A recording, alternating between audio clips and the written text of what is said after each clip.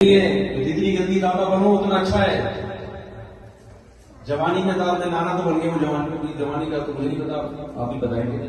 خیر، اپنی تعریف نہیں کرنی چاہیے۔ یہ میرے بال کلر سے کالے نہیں ہیں، بہت کالے ہیں۔ اتنی فی الحال میں ووٹ پیش کر سکتا ہوں۔ تو تو جوانی میں کیا بن جاؤ؟ نانا دادا بنو۔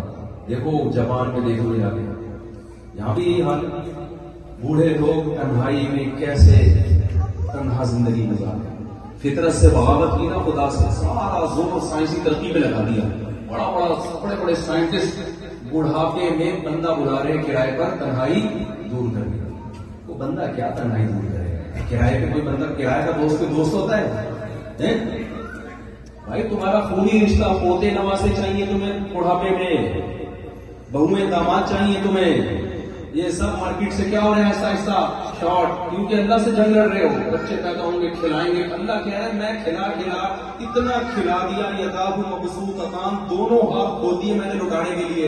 امریکہ میں بیٹھ کے کہہ رہے ہیں کہ کھلاؤں گا کہاں سے؟ میں۔ ساتھ ملاؤ دونوں کا گھر دکھاؤ دونوں کے دفتروں میں لے کے جاؤ اسپتالوں میں لے کے جاؤ۔ کیا ہوتا ہے یہاں پہ؟ ان کی بیماریاں کیا ہیں؟ یہاں پان کے ٹیکے تھوک کے نشانات ہیں کہ نہیں ہیں؟ ڈاکٹر صحیح جگہ ٹیکا لگاتے ہیں یا غلط جگہ ٹیکا لگاتے ہیں؟ کیا سیٹ اپ چل رہا ہے اسکولوں میں؟ یہاں کے جو جو اسکول ہے وہ دکھاؤ۔ لیکن ہمیں تو یہی گھمائے جا رہے ہیں گھمائے جا رہے لیکن مجھے کوئی گورا ملتا ہے تو میں اس کو نہیں چھوڑتا۔ میں اس سے معلومات لیتا ہوں۔ تو دیکھیں، آپ جتنے بھی لوگ یہاں پر آئے ہیں نا، ظاہر ہے کوئی نہ کوئی مقصد ہے نا، کیا خیال ہے؟ ایسے ویسے بزنس بزنس یہ سب چیزیں جڑیا بازار کھول دیا ہمارے مسلمان نے یہاں آج میں صبح گیا ان کے ان کی دکان میں سارے مسالے جڑیا بازار والے مل رہے ہیں۔ تو دیکھو بھائی، اگر آپ یہاں آئے ہو کسی مقصد کے لیے، تو دنیا میں بھی تو کوئی مقصد کے لیے آج ہو گئی اور ایوں ہی آ گئے؟ بھائی، ویسے ہی آ گئے۔ بار بار میں ایک بات کہتا ہوں، میں کیا قرآن کہتا ہے میں جو یاد دہانی کرانے کے لیے آیا ہوں یہ یاد دہانی کا مقصد اپنے آپ کو بھی یاد دہانی کرانا ہے۔ کیونکہ انسان سبق بھول جاتا ہے۔ میں بھی بھول جاتا ہوں کئی دفعہ کہ میں کس سلسلے میں دنیا میں آیا مجھے ایسا لگتا ہے سر میں صرف شادیاں کرنے کے لیے پھر میں اس سے اظہار کرتا ہوں، سوچتا ہوں، بھائی، کچھ اور کام بھی ہے۔ تو جتنی ضرورت نصیحت کی آپ کو ہے، اتنی ہی زیادہ ضرورت مجھے بھی ہے۔ تو یہ جو میں باتیں کر رہا ہوں، یہ تکرار کی نیت سے۔ ایک دوسرے سے ہم جب بات چیت کرتے ہیں، تو سبق تازہ ہو جاتا ہے۔ دیکھیں، دو نظریات ہیں۔ ایک نظریہ تو یہ خود بخود آئے ہیں دنیا میں۔ ایسے ہی آواز تھوڑی گونج رہی ہے، میں اس کو ہاتھ نہیں پکڑ دیتا ہوں۔ آپ اس کو مائک کو آہستہ کرتے ہیں، اس کا آسانی کامل نہیں ہے آدم علیہ السلام جنت میں تھے، آپ کو امریکہ جنت سے کم میں باہر ڈال کیا خیال ہے بھائی؟ آپ کو ہمیں یہاں ضرورت نہیں ہے ایکچولی ہم لائف کو انجوائے کر رہے ہیں اور یہ وغیرہ وغیرہ۔ تو بھائی، آدم علیہ السلام جنت میں تھے۔ امریکہ سے بہت اوپر کی چیز ہے۔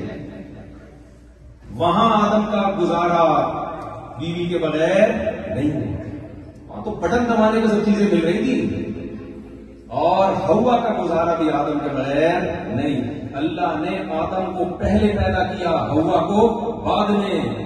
الٹا بھی کر سکتا تھا اللہ تعالیٰ۔ ہوا پہلے آدم بعد میں۔ یہ بتا دیا کہ مرد کسی حد تک عورت کے بغیر گزارا کر سکتا ہے، لیکن عورت کو دنیا میں لانے سے پہلے مرد کا انتظام کرنا پڑے گا۔ نہیں آئی میرا خیال ہے بات۔ تبھی مرد شادی نہ کرے، اس کو بھی نقصان ہوتا ہے۔ عورت نہ کرے، زیادہ نقصان ہوتا ہے۔ سمجھتے ہو کہ نہیں سمجھتے؟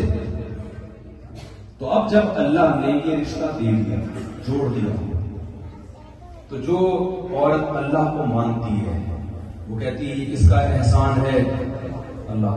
لہذا اللہ نے مجھ پر جو شوہر کی ذمہ داریاں ڈالی ہیں، بلا دلیل مانوں گی اس کو۔ بحث نہیں کروں گی۔ خواتین کو کہا جائے نا کہ شوہر سربراہ ہے، اس کی اطاعت کرو، اس کو رسپیکٹ دو، اس کی فرما برداری کرو۔ کبھی کبھار اونچی آواز سے ڈانٹ دے تو گھر کا سربراہ کر کے، سمجھ کے کیا کرو بھائی؟ عورت شوہر کی غلام نہیں ہے اسلام میں۔ خوب سمجھ لو۔ ماتحت ہے۔ ماتحت ہونا الگ بات ہے۔ غلام ہونا، غلام تو مادیاں ہوا کرتی تھی۔ باس ہے وہ گھر کا۔ کیا ہے وہ؟ باس آپ کی کمپنی میں کوئی باس ہوتا ہے؟ آپ اس کے غلام ہوتے ہیں۔ ایئر ہوسٹس جو مجھ سے اتنی تمیز سے بات کر رہی تھی میری خالہ لگتی ہے۔ بھائی باس کا آرڈر ہے۔ تو باس کی اطاعت کر کے کوئی ذلت محسوس کر رہی ہے وہ۔ نہ۔ باس کی اطاعت میں آر محسوس نہیں بشرتے کہ باس مان لیا جائے۔ نہیں مانو تو پھر بولیں گے بھائی، تو مجھے کون ہوتا ہے کہنے والے یہی ایئر ہوسٹس باہر آ کے میں سے بولوں، دوبارہ چائے لے کر آئے کہ تمہارے باپ کے نوکر ہیں۔ بھائی، جہاز سے اترتے ہی میں اس ایئر ہوسٹس کا نمبر لیتا کہ کائنڈلی دوبارہ ایسی چائے پلائے۔ وہ بھائی، ختم۔ باس کا آرڈر تھا جب تک جہاز کے اندر چائے بھی ملے گی، رائتا بھی ملے گا۔ اس نے بولا انڈین میں رائتا۔ انڈین اس نے بولا رائتا۔ مجھے پتہ نہیں چلا تھا چٹنی کو انگلش میں کیا کہتے ہیں۔ اس نے کہا رائتا میں نے کہا رائتا۔ تو